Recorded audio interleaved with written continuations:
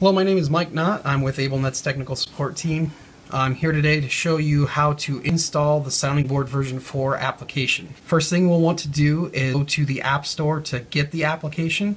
So we'll tap on the App Store app and we'll do a search for the application up in the upper right hand corner. Just type in Sounding Board and you can see that it already picked it up so we'll go ahead and tap on Sounding Board and now we can download it. It is a free application. Okay, and once the app says open, that means you can open it straight from there, or you can go out to find the application on your iPad's home screen. And we'll go ahead and tap on the application to open it.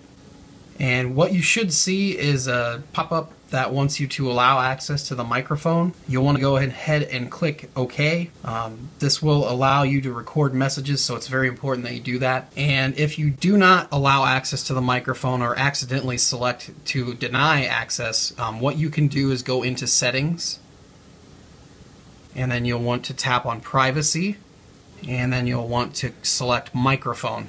And right now, Sounding Board is enabled with the microphone active. So this is what it should look like. You may see it as this, but you'll want to make sure that it is active. So making sure that it's green is uh, very important. If you have any questions, please feel free to contact us at ablenetinc.com um, or you can email us at techsupport at ablenetinc.com or give us a quick phone call. Uh, the number is 800 322 0956. Thanks for watching and have a good day.